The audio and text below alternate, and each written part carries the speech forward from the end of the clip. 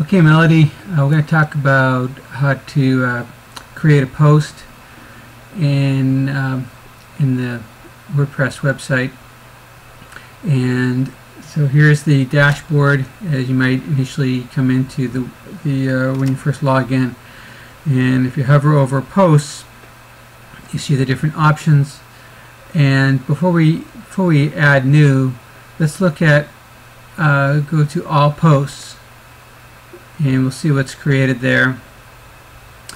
Um, and there are uh, there are nine posts that have been created as of now.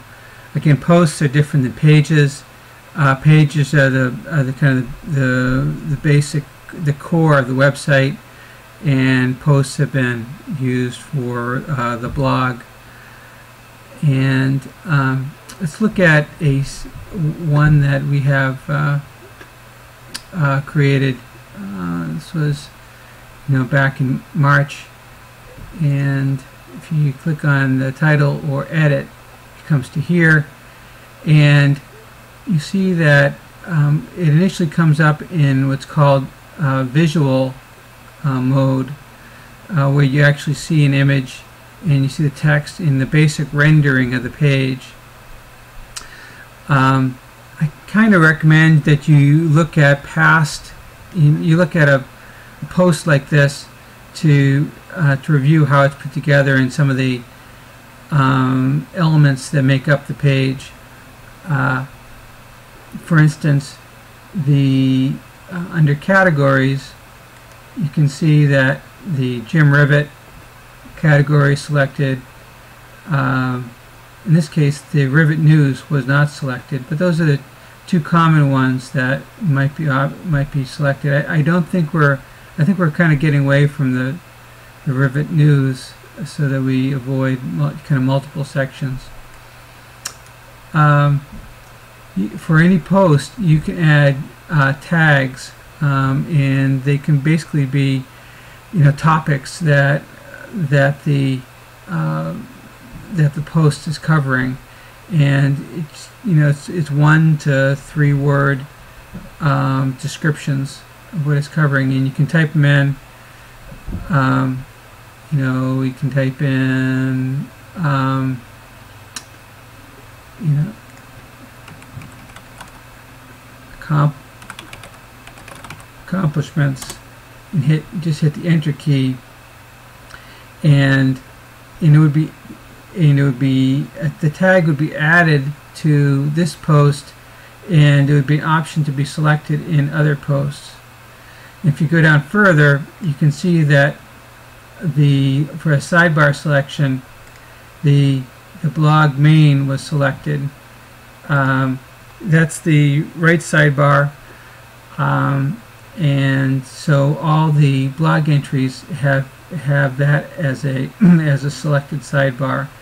Um, I'm not sure if it's really any different than, than other pages sidebars, but it is, um, you know, it can be, uh, it's consistent so that if we do make changes to that specific sidebar, then this, then this, uh, then the sidebar on this post would also change accordingly. So there are some elements that we might be selected for every single post. Also, you see if we if we uh, scroll down the center area, then we have this section here called the SEO uh, WordPress SEO by Yoast, and um, there are a few things that you could incorporate, and um, uh, the SEO title is kind of what's what the uh, what the search engines, which you kind of give to the search engines as opposed to necessarily what is on the title here. So you can you can see what how it is current how it would currently be uh, to be displayed.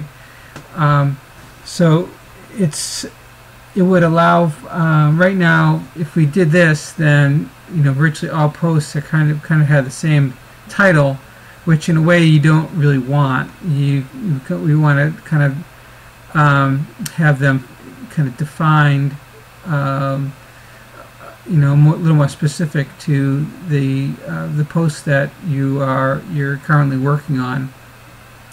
So it might be the title, then it might be a another phrase or two that is also reflective of the content that you have in the post.